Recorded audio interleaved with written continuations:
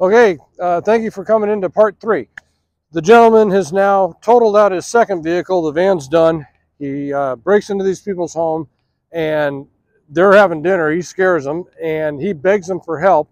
They're, they're like, no, get out of here. I, I believe the homeowner got a kitchen knife and was chasing the guy. Out of the house he goes. He's got the keys. He steals their work truck. So off he goes in the work truck and he gets on the freeway and high speed on the freeway. So we now have, uh, you know, six or seven helicopters chasing this guy. So we separate.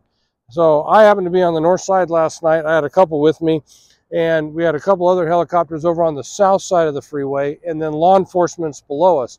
But I'm constantly, I'm flying, I'm keeping the pursuit out my window, so I'm watching it and I'm talking to the other aircraft and I'm scanning for them. I want to know where they're at because if I don't see them, you know, they could be under me, on top of me, whatever. You've got to know where they're at.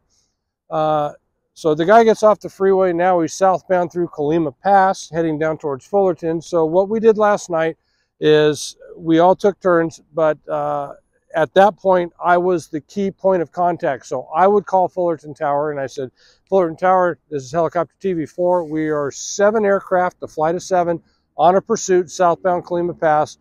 And so all seven of us got cleared in. So the tower knows who we are, how many are we, and where we're going. So the pursuit ends up terminating at a gas station. He crashes into a pump. The police have to fire at him. It is just a disaster. But when we have all those aircraft and we're in that close proximity, talking with each other really is key. So I just wanted to talk to you guys a little bit about that, share it. It was a nutty night, but uh, it was entertaining for you guys. So thank you for sharing a moment with Eliana and I. Have a good night.